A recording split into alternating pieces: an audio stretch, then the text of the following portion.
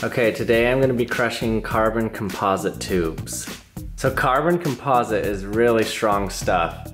It has a very high strength to weight ratio. Although carbon composite is very strong, it's different than metals, um, even though it can be stronger than steel. Steel is strong in all directions, but carbon composite is only strong in the direction that the fibers run. So you can see this piece here, it has woven fiber um, there's fiber going this direction and that direction. So it's strong in both of these directions, but not diagonally. So we're gonna be crushing it coming down.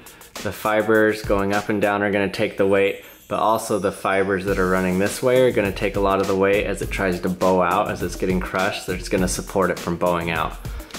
So this should be some quite explosive results here from these two carbon fiber tubes. Okay, carbon fiber tubes crushed by hydraulic press. Three, two, one.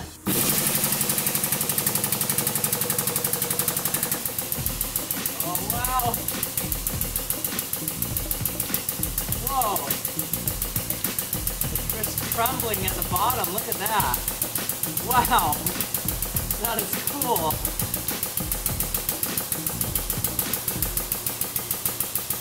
That is so cool. The carbon composite is just all coming unraveled as it goes down. Huh.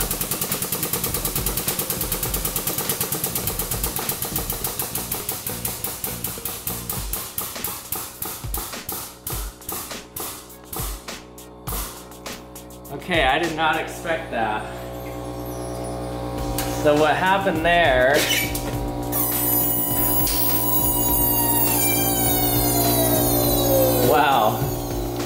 Look at that. Look how that just unraveled. So what this is called is called delamination. So the fibers actually just delaminated. They didn't they didn't necessarily fail catastrophically, but they just delaminated and unpeeled as it came down. I didn't expect that to happen. I've crushed carbon compo carbon composite before, and it usually has an explosive result, but that just kind of peeled down. Okay, so what happened there is the carbon fibers just kind of delaminated. So these are layers and layers of the carbon fibers together, and the layers didn't stick together.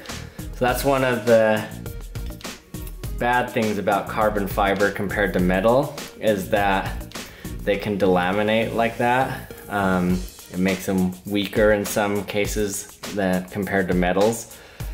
But I expected it to just explode, but it really just came apart in pieces slowly. And you can see the individual carbon fibers here.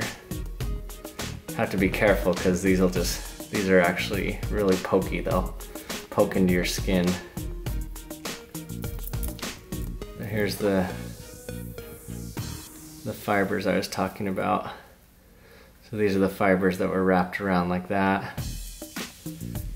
Individual fibers are really tiny, a lot smaller than hair. Hey, thanks for watching again, everybody. Remember to subscribe if you haven't yet and comment in the comments section. I get a lot of my ideas um, from you telling me what you'd like to see get crushed.